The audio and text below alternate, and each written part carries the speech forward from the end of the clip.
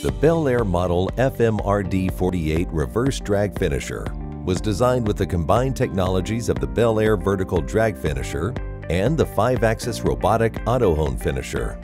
The machine comes in both light-duty and heavy-duty models with varying size tubs and one, two, or three heads.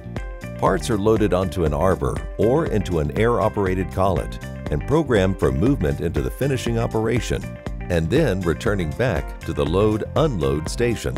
Simple low-cost tooling outweighs the normal tooling necessary for conventional drag finishing while effectively reducing media consumption.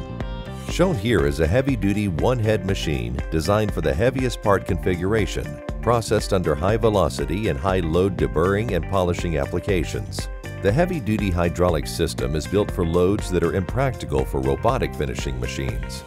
Several unload points allow for ease of part handling and automation or integration into a production cell.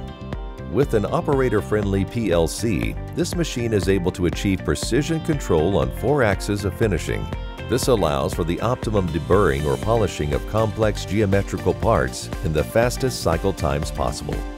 This gear is shown oscillating between the lead angle and trail angle of the streaming media while at the same time rotating clockwise and or counterclockwise with varying speeds.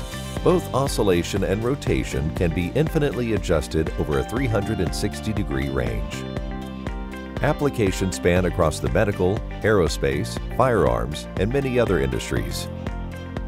Contact Bel Air Finishing Supply for free sample processing and machine demonstrations.